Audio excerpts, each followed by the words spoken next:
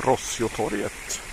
Eller även kallat det böljande torget på grund av plattläggningen här.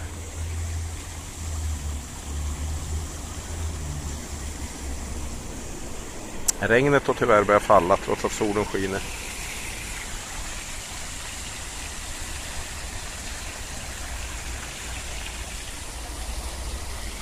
Här har vi Donna Maria-teatern.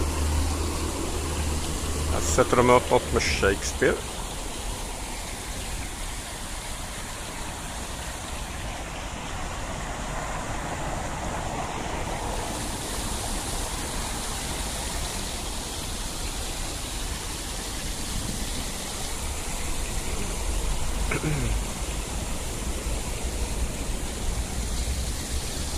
Lite osäkert om vattnet som faller på min gässa är från fontänen eller från molnen. Som tur är har vi med oss en expert angående nederbörd på torg. Var kommer vattnet ifrån?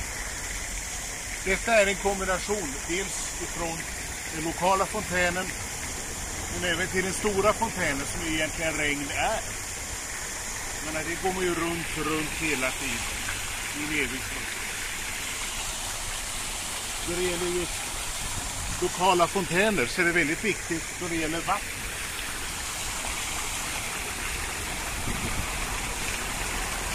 Man måste tänka på temperaturen och framförallt surhetsgraden.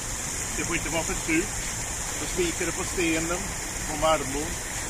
Det får inte vara för hög kalkhalt. Då kladdar det igen. Just nu regnar det ganska mycket, gör inte det? Jo, det är nog det, det som är sanningen. Och frågan är om vi ska söka oss till någon plats där det inte regnar.